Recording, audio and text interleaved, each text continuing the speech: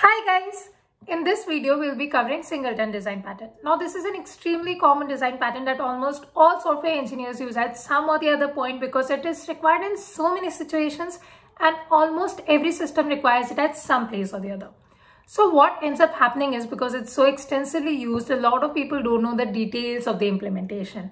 So during interviews or in our work life, we end up missing a few details because of which we end up messing up the implementation. So at least for this video, I would really suggest you to stay till the end and don't miss out the details. Singleton is another creational design pattern. So we'll be talking about creating objects of the class. And as the name suggests, it's fairly simple to understand. Singleton means we'll create a single instance of the class. That means we'll create only one object of a class and we'll focus the entire implementation about how to do that. How do we make sure that there are no other instances of the class created? Now, why do we need this design pattern? If you think about it, it has a lot of implementations. For example, there is a DB connection. Now you want only one DB connection to be used by all the modules of your project. Or for example, there's a configuration manager. There should be only one configuration manager which can change the configurations. Otherwise, you'll end up having a lot of problems, right? So the entire project, all the modules should have only one configuration manager or you do a lot of logging in all the systems, right? So there should be only one logger that is used so that all the logs go in one particular place, right? So in our case, we'll be taking the classic example of logger. We'll be implementing logger using singleton design pattern and we'll go through all the details of the implementation using code. But before that, let me tell you about the sponsor of the video. Educative.io has a lot of cool courses for software engineers. I specifically really, really like their LLD and HLD courses, that is the system design courses. Don't forget to use the coupon code Keerti to get discount on subscription and get access to all the courses on educative.io. Use the link in the description and I really hope it is very helpful to you. As you can see, I made three files, logger.cpp, logger.hpp and user.cpp. Let's start with very basic, simple stuff. Let's just make a class logger and our user is going to use the class. That's it. Very simple stuff. Okay. Let's start with making the class logger. And right now I'm just going to write a constructor in public section. So a constructor and I'm going to write a log function. Okay. A simple log function. You pass a message and it's going to just output that. Okay. So void and I'm going to call it log and I'm going to pass a string message to it. That's it. So I've declared it in HPP. Let's define it in CPP as well. Okay. So let's start with log uh, constructor and I'm just going to output over here that new instance of logger created. So just new instance created. That's it. Okay. And uh, so it's going to be return type void logger and i'm just going to log the message right? So i'm going to just write output over here message that's it okay? So we have made the class and now our user is going to use the logger. Usually there are going to be so many users who are going to use the logger right? Right now for simplicity purposes let's say there are two users and we're going to write the code in the main itself just for simplicity and for understanding okay so what I'm going to do, I'm going to write logger 1 and I am going to log something from there, right? So I'm going to use logger 1 to log a message saying this is, this message is from user 1 and that's it. Okay, I'm going to do same for logger 2. So what I'm going to do now is create another logger which is logger 2 and this new log statement is from logger 2 that this message is from user 2 right? Simple stuff nothing big. I have just made two loggers and that's it right? So let's compile this and see what happens. I'm going to call the executable as singleton itself just the name of the executable that's it. And let's run the executable so you can see the output, the two times new instance was created and the messages were from user 1 and from user 2, right? Simple stuff. Now see the entire concept of singleton revolves around that there should be only one instance, right? So there should also be a way to make sure that okay, only one instance is created. And suppose someone asks you that how many instances of a class is created. So how do you keep track of that? So for that, what we do is we create a static counter in a particular class. Every time a new object is created, that is every time a constructor is called, this counter value is incremented. To make it very simple for those who don't understand the concept of static, again, see this counter will belong to a particular class and not to an object. So even if you keep creating new objects of the class, what's going to happen is the counter is not going to get reset. The initial value is just going to get incremented and I will show it how it works. Okay, so if you don't know the concept of static, you're going to learn it now. It's very simple. So I make a static integer counter and that's it. Okay. And I'm going to use it in CPP. So I'm going to put the initial value as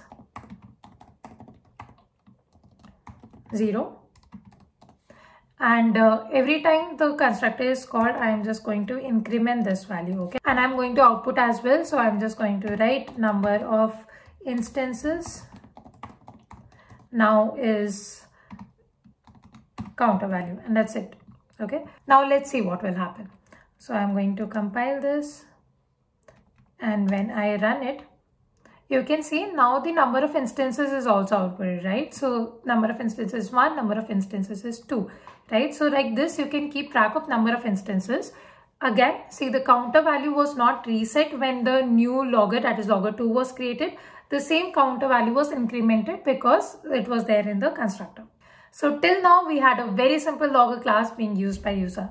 Now we are going to make our logger class singleton. So what's the first thing that you can think of for singleton design pattern? First thing is that I don't want my users to be able to create logger objects. Okay, I want to restrict them for being able to access this logger constructor somehow. There are ways to do that. One very simple way is to just make this constructor as private. So I'm going to remove it from the public section and I'm going to add it to the private section. And as soon as I save it, you can see the error coming in user.cpp. What is the error? The error says that the logger is now inaccessible. The constructor is inaccessible. Why is that? Because now it is private. So this is the first point of singleton design pattern. By making the constructor private, you are restricting the users from creating object or basically calling the constructor itself. But does that mean that we are not going to create logger instances? Because we do need a single instance, right? That is going to be used everywhere. So as I said, see static property makes sure that a particular member belongs to class and not to a particular object. Now we cannot create object because we made the constructor private. So what we can do is we can make a static function which will return a particular instance, right? If it's confusing, it's fine. Just stay with me. It's going to become very simple and easy, I promise. Okay. So right now I'm just going to write a public function. So I made it static so that it belongs to the class itself and not to a particular object of the class. Okay. So to logger class itself, this function is going to belong. Okay. So that's why I made it static. What it is going to return, it is going to return a pointer to logger itself, right? It's going to make an instance and give me the pointer to that. Okay. Now, usually when you see examples of singleton, you will see the function name as get instance and somehow people start assuming that the function name has to be get instance. So let's keep it different. Let's keep it get logger so that you understand that, okay, it doesn't have to be called get instance. Okay. So I will declare the function. Let's define it also in the CPP itself. So it's going to return a logger pointer and it belongs to logger class and the function name is get logger, right? Now you need one particular instance to be returned from this static function, right? So you obviously also need a static instance itself, right? Otherwise, what are you going to return? But that should be private, right? Why make it public? So I'm going to make a static instance right now. And I'm going to call it logger instance. Okay. And this is our single instance that is going to be used by all the users. Okay. We have to make sure that every time this get logger is called, every time we return this one particular logger instance only, there's going to be one instance, okay? We have to make sure no new instances are created. Since the instance was static, let's initialize it in CPP. Let's call it logger and belongs to logger and it's logger instance and I'm initializing it to null, okay? Now in this get logger function that is going to be called by all the users, we are going to return the logger instance. Okay.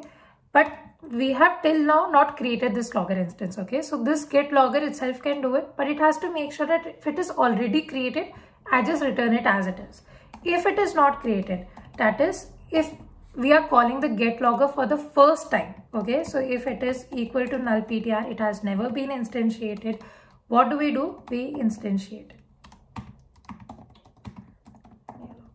And that's it.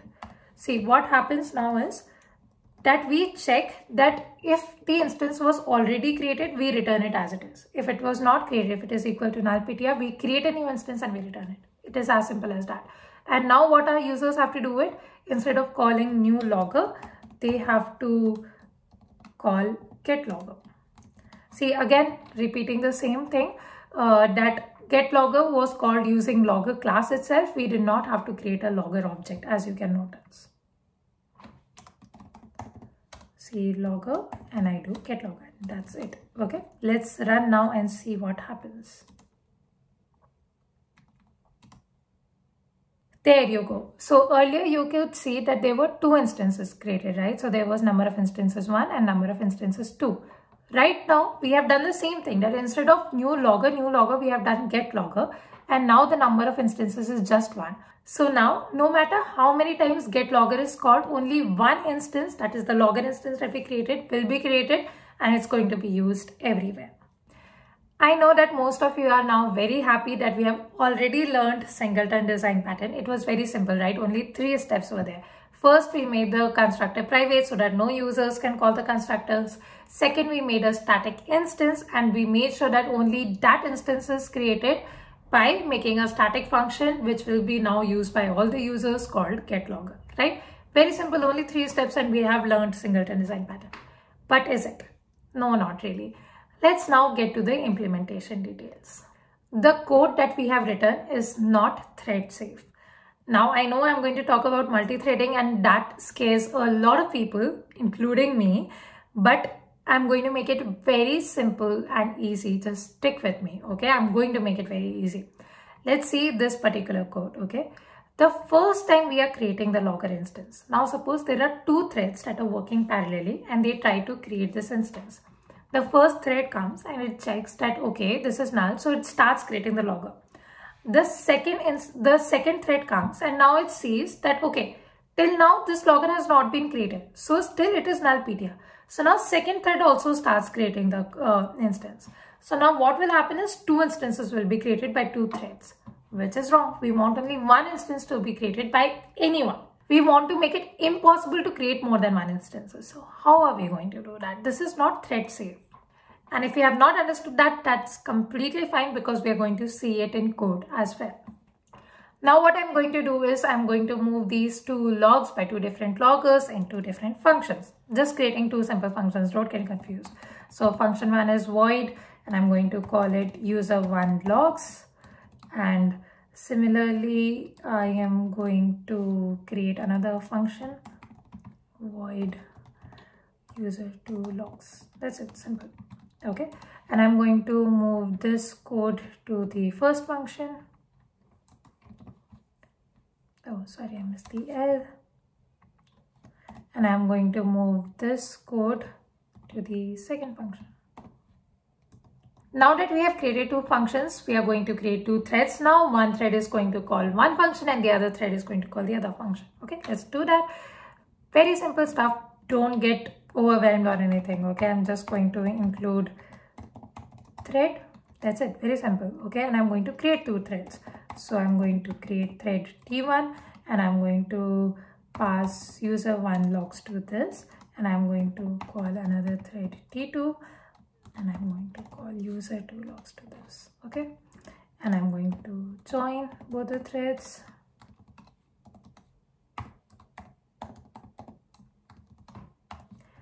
now let's see what happens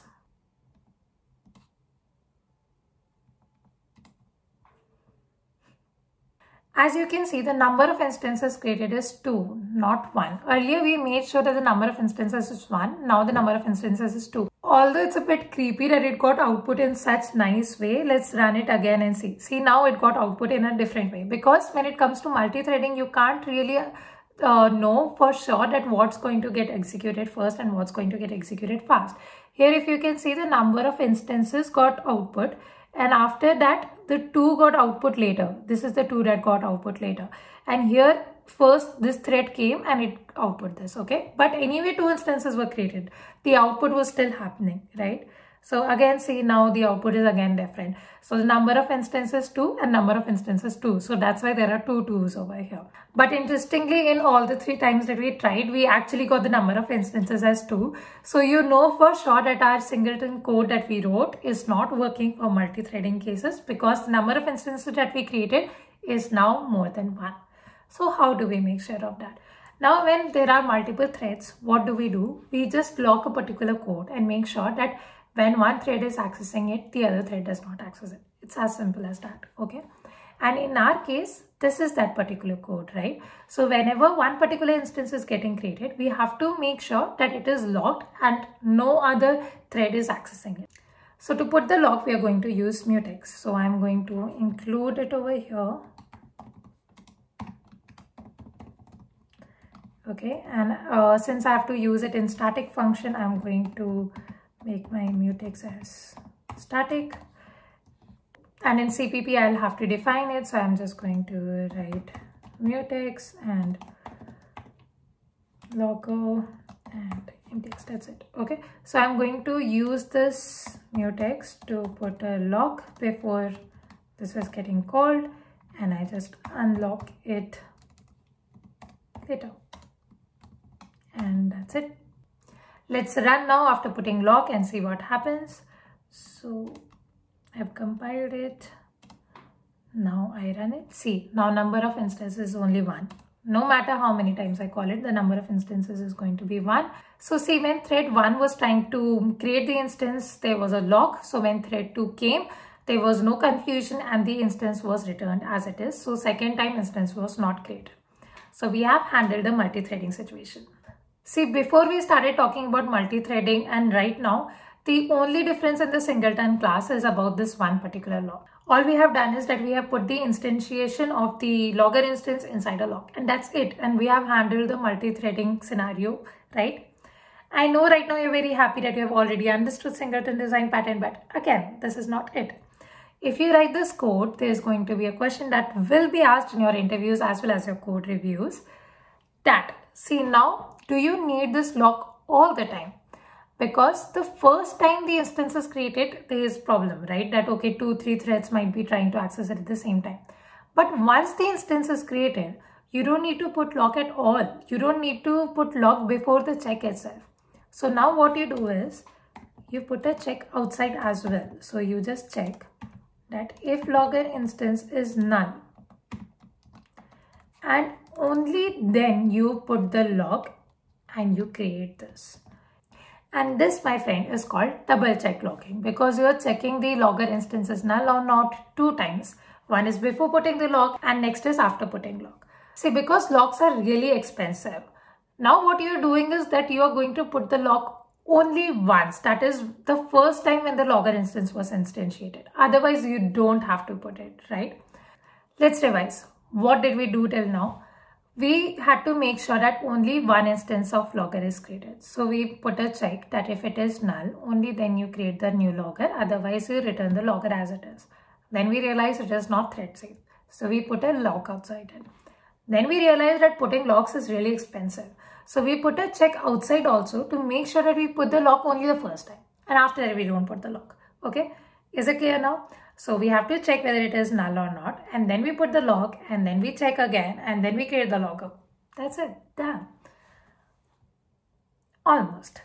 You are still not done with handling all the cases. Even now there can be problems.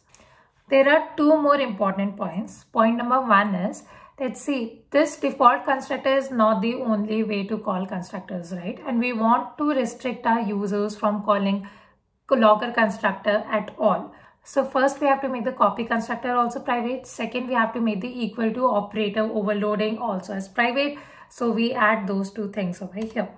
So the ideal way would be to write logger const and make the copy constructor also private make the operator overloading also impossible by making it private so operator equal to and make it as const logo and that's it another thing guys for c++ people only for people who code in c++ from C++11 making these functions private is not the only way to restrict users from calling them. There's also something called equal to delete. You can continue to put them in public section, but you just write equal to delete. So then users won't be able to call it. And that's it about singleton pattern, guys. This is a very common design pattern that you should know for sure. I hope I made things clear, simple and easy. Let me know in the comments. I would love to know your feedback so that I can improve because I am going to finish this series and cover all the design patterns. And please don't forget to like, share and subscribe. It will mean so much to me. Thank you. And before you go, let me remind you that educative.io Unlimited provides you unlimited access to all their courses by paying just once. Don't forget to use the coupon code Keerti and check out the link in the description to get additional discounts. This might be really helpful.